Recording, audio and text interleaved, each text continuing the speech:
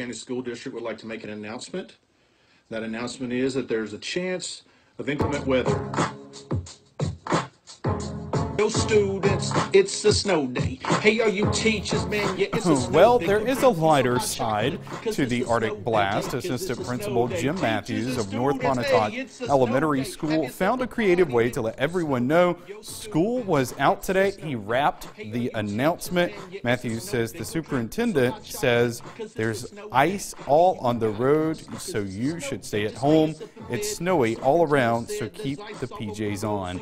The video has been shared over 8,000 times on Facebook. To see the full clip, just check out our website, WCBI.com.